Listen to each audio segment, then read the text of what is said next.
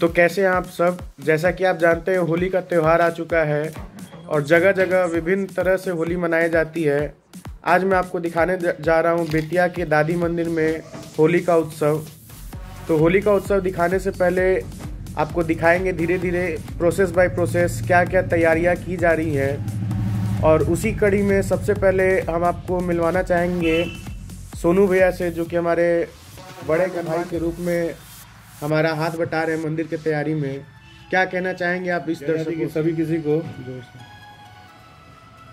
हम लोग होली का कार्यक्रम बहुत ही धूमधाम से दादी मंदिर बेतिया में करते हैं और अपने हाथों से हम लोग दादी जी को सजाते हैं उनका दरबार सजाते हैं। दादी जी के साथ हम लोग फूलों की होली खेलते हैं। हमें बहुत आनंद आता है। इस कार्यक्रम का पूरा डिटेल हमारे राहुल भैया इस चैनल पे डाल देंगे। आप लोग आइए और इन्जॉय कीजिए। जय दादी की। जय दादी इस वक्त आप देख सकते हैं भरत भैया द्वारा अल्पहार का व्यवस्था की जाँच की जा रही है। तो जोगू जी बताइए क्या बना रहे हैं आज आप सभी के लिए? आलू छिल रहा हूँ टिक्की के लिए। टिक्की चाट और पापड़ी चाट बनाएँगे। और लेडीज़ लोग का पसंद का जो है पानी पूरी का व्यवस्था है। इस वक्त हमारे स्क्रीन के पीछे योगी जी है।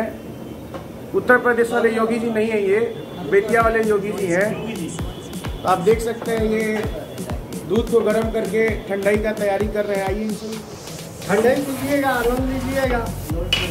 मौसम भी रहेगा देखिए जी हैं डेक उतार कर रख रहे हैं नीचे में ठंडाई बनाएँगे देखिए दादी जी का श्रृंगार शुरू हो गया है। ये हमारे मोतिहारी से आए हुए सुमन भैया हैं। सुमन जी अपना चेहरा दिखाइए एक बार। हर साल दादी जी को सजाते हैं अपने हाथों से ये। हर फ़ंक्शन में।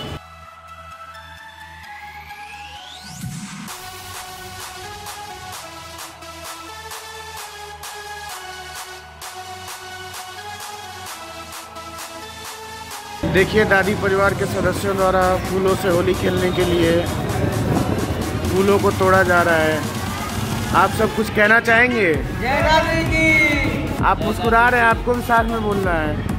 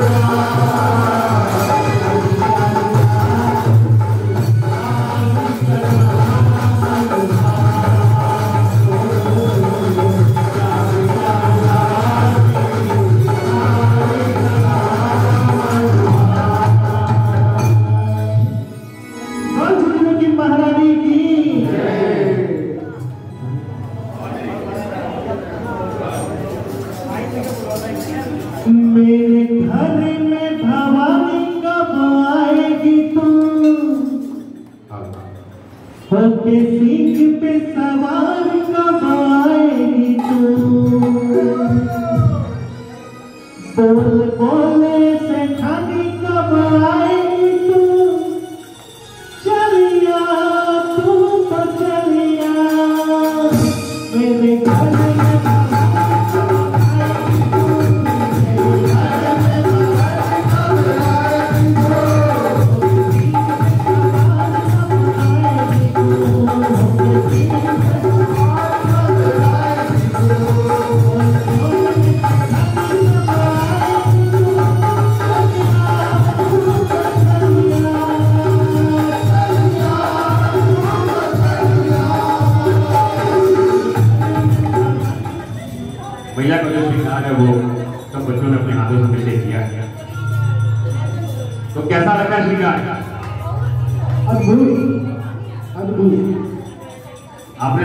साथ सब करेंगे।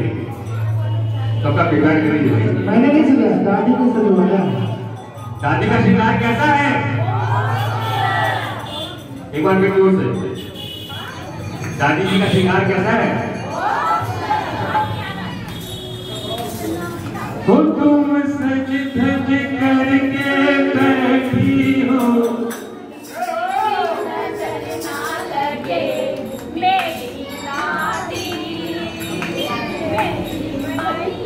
आपको एक साथ हो।